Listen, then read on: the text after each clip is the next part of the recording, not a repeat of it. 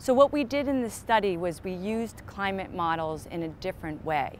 Rather than include absolutely everything into the climate system that could be important, we've removed certain parts of the climate system, in particular the ocean circulation, and say, how much can we explain without that?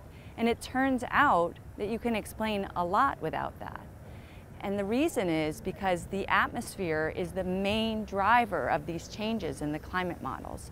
And the ocean circulation may be playing a role, but it's probably not first and foremost. The Atlantic Ocean has warmed over the past century due to greenhouse gases, and that part is well understood. But in this study, what we're looking at are changes about that human caused trend that occur from decade to decade, and the ocean circulation has been thought to be the main driver of those changes.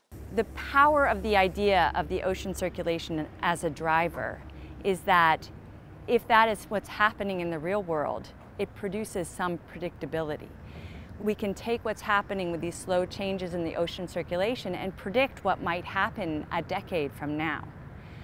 Now that is obviously a very desirable outcome if we can do that, but what our study suggests is that that may not be the case.